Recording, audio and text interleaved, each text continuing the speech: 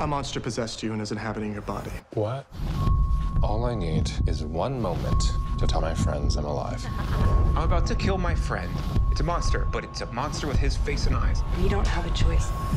To here. No!